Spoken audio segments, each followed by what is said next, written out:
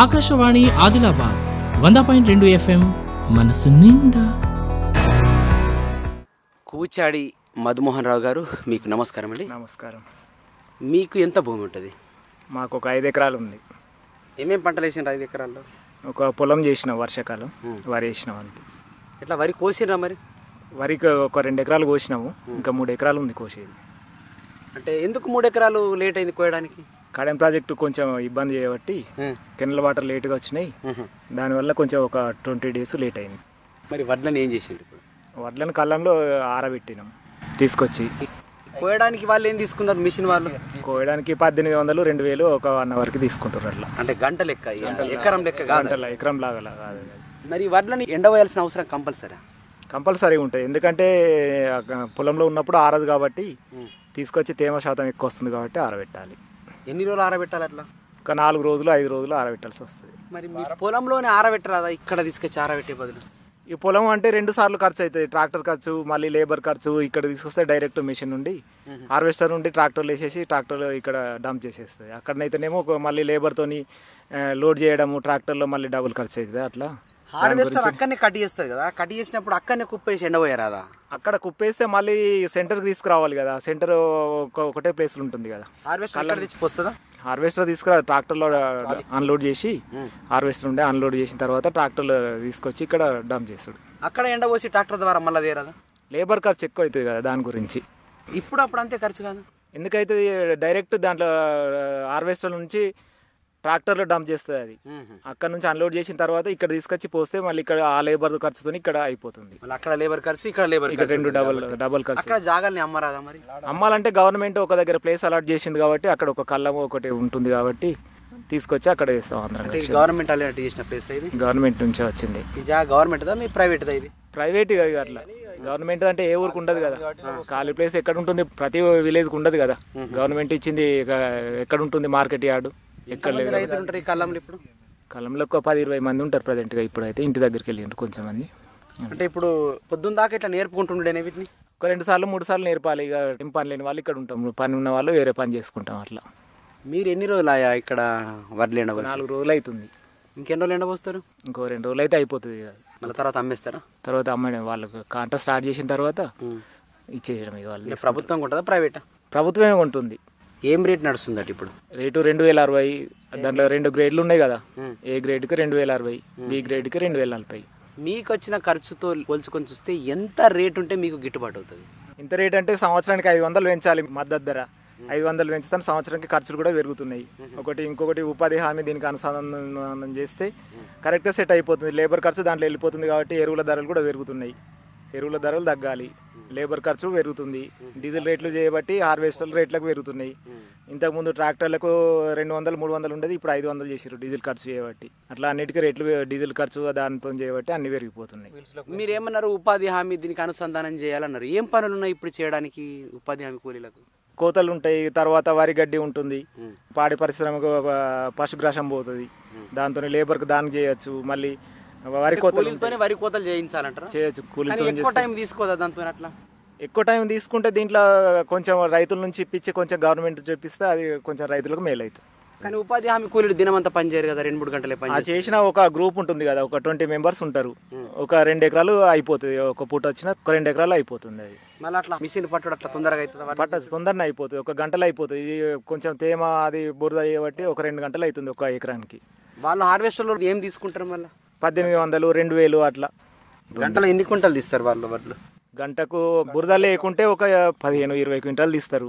ఇక బురద ఉంటే రెండు గంటలు అవుతుంది. చెప్పండి ఈ వరి రైతులకు ఉన్నటువంటి సమస్యలు ఏమున్నాయి? సమస్యలు అంటే వరి నాట్ల నుంచి ట్రాక్టర్ దున్ని నాటి నుంచి లాస్ట్ కోతల వరకు కాంటాయ వరకు సమస్యలు ఉంటాయి.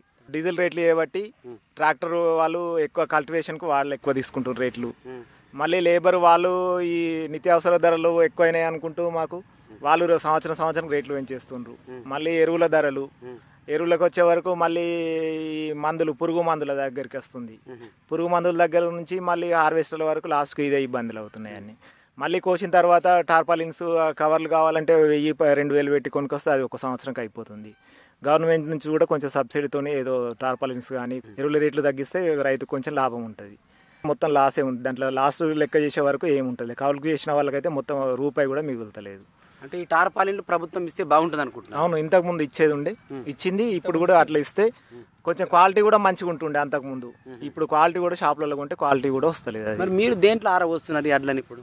మేము బయట నుంచి కిరాయి తీసుకొచ్చి లేకుంటే కొనుకొచ్చి అట్లా ఆరబెడుతున్నాం టార్పాలిన్స్ కవర్స్. కొంతమంది చీరలు కూడా పరిచినట్లున్నారు అట్లా? సరిపోతలేవు అది టార్పాలిన్స్. దాని గురించి అని అట్లా కొంచెం చీరలు కానీ ఇక ఏది ఉన్నదో అది ఇంట్లో పెద్ద వస్తువు ఉంటే దాన్ని తీసుకొచ్చి ఆరబెట్టి మీరు ఇంతమంది రైతులు ఇక్కడ వడ్లు ఎండబోసారు అనుకోకుండా వర్షం వస్తే ఏం చేయాలా? పరిస్థితి ఏంటిది?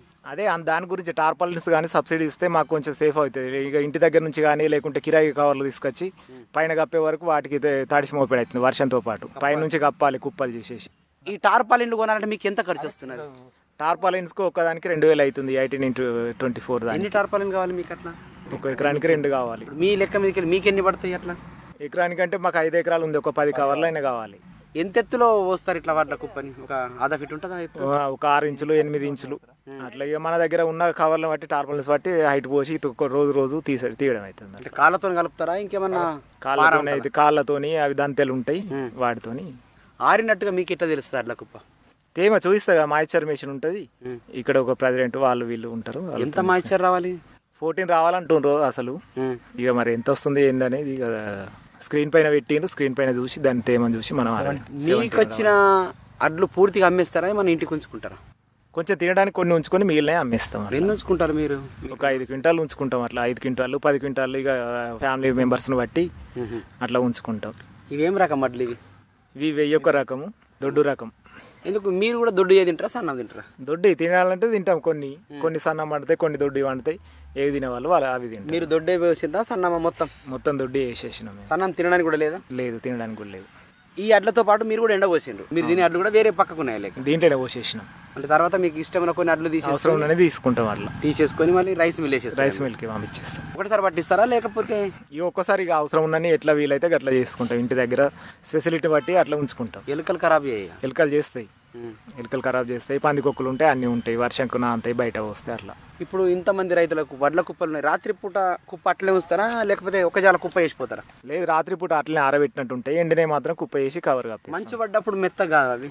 కవర్ కప్పేస్తాం కదా పైన. మళ్ళీ ప్రొద్దున మళ్ళీ ఎండ కారుతాయి కుప్పలకేమో పైన ఎండిన వాటికి కవర్ కప్పేస్తాం అట్లా. కుప్పల దగ్గరికి పందులు ఏం రావా? పందులు వస్తున్నాయి ఇక ఒక్కళ్ళ ఇద్దరం కుప్పల దగ్గర పడుకోవాల్సి వస్తుంది కదా అట్లా.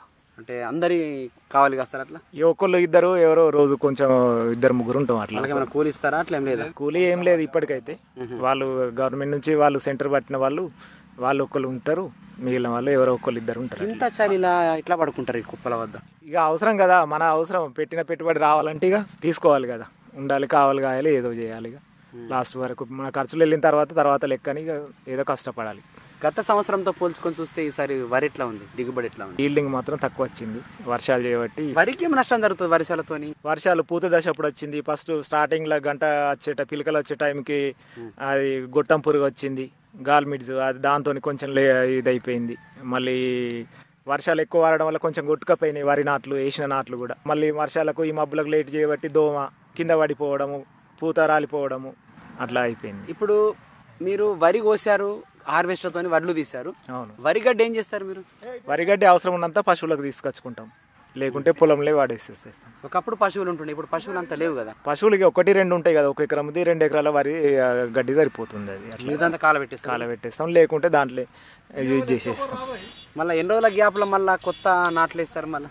మళ్ళీ ఒక నెల రెండు నెలలు అంత గ్యాప్ ఎందుకు తీసుకుంటారు? వెంటనే నాట్లే రాదా వేయచ్చు కానీ నారు పోయాలి కదా నారు పెరగదు కదా ఈ చలికాలం. ఎంతో? ఇరవై రోజుల్లో వేరు కదా? ఇరవై రోజులు పెరుగుతుంది. ఇప్పుడు ఈ- పది రోజులు అవుతుంది ఇక ఈ వడ్లు చేసి ఎండబెట్టి అమ్మేసే వరకు ఒక పది పదిహేను రోజులు అవుతుంది పది పదిహేను రోజులు ఇటు అటు ఉండేటోళ్ళు అట్టున్నారు ఎంతమంది అని చేస్తారు? లేబర్ పెట్టాలంటే ఖర్చు ఎక్కువ అవుతుంది. ఒక్కళ్ళు ఇద్దరు ఉంటే అటు ఇటు చేసే వరకు మళ్ళీ పందులు అక్కడ నారు పోసినా కానీ అట్లా ఇబ్బందులు అవుతున్నాయి. మళ్ళీ భూమి ఆరాల భూమి ఆరాలి నారు పోస్తే పందులు అక్కడ కాపలు ఉండాలి అట్లా ఇబ్బంది అవుతుంది. అంటే మళ్ళీ మీ వెనుక ముందు పొలం వలసగా రెడీ ఉండాలి నాట్లు అందరూ అట్లా. ఒక్కసారి వేస్తేనే. అదే. సంతోషంగా ఉన్నారా వ్యవసాయం పట్ల? ఇక మామూలుగా సంతోషం లేదు దుఃఖం లేదు అన్నట్టుగా ఉన్నది. లేబర్ ఖర్చులు ఎక్కువ పెరిగినాయి యూరియా బస్తాలు డిఏపి బస్తాలు ప్రతి దానికి రేట్లు పెరిగినాయి. అయితే జాగా మీదకి వచ్చి కొనుక్కపోతారా వచ్చేటోళ్ళు ఆ, కళ్ళంనే కాంట చేసేసుకుంటారు డబ్బులు కూడా తొందరగా వన్ మంత్ ఫిఫ్టీన్ డేస్లో అట్లా వస్తాయి. అంటే దళాలకు ఇస్తారా మీరు? దళారులకు ఏం లేదు గవర్నమెంట్కి ఓన్లీ గవర్నమెంట్. కట్ చేసుకుంటారా ఇంకా? కటింగ్ ఏం లేదు ఇప్పటికైతే. తేమ లేకుండా తప్ప తరుగు లేకుండా ఇస్తే ఏం కటింగ్ లేకుండా ఇస్తారు మనకు. ఈ సంవత్సరం ఎంత ధర ఉంటే బాగుంటుంది అనుకుంటున్నాం ఈ సంవత్సరం ఇప్పుడైతే రెండు వేల అరవై చేసిండు ఇంకో రెండు వందలు పెంచినా కానీ ఈ పంటకి సరిపోతుండే. ఎండాకాలంలో అయితే ఇంకో ఐదు వందలు పెంచితే అప్పుడు బాగుంటుంది. ఇప్పటికి అయిపోయింది కనీస మద్దతు ధర పెంచడము. మళ్ళీ ఎండాకాలం వేసంగి వరకు ఇప్పుడు ఒక బస్తా కొనాలంటే ఇప్పుడు మూడు వందల రేటు ఎక్కువ పెంచేసిండు. అప్పుడు పదిహేను వందలు ఉన్నది ఇప్పుడు రెండు వేల రూపాయలు అయిపోయింది. మీకు వరి తప్ప వేరే పంట లేరాదా మరి? ఏమీ రాదు ఇక్కడ ఈ ఊర్లో అనుకూలంగా లేవు భూములు వేరే పంటలకు కోతులు పందులు అడవి పందులు వాటితో బాగా కోతులతోనైతే బాగా ఇబ్బంది అయిపోతుంది అట్లా. సరే ఎవరైనా ఈ కార్యక్రమాన్ని విని మీ నుంచి సలహాలు తీసుకోవచ్చు లేదా మీకు సలహాలు ఇవ్వచ్చు కాబట్టి మీ ఫోన్ నంబర్ చెప్పండి. Nine one double zero two double seven nine one double zero two double seven zero eight seven. Zero eight seven. Thank you అండి. ఆకాశవాణి ఆదిలాబాద్ వంద పాయింట్ రెండు ఎఫ్ఎం మనసు నిండా.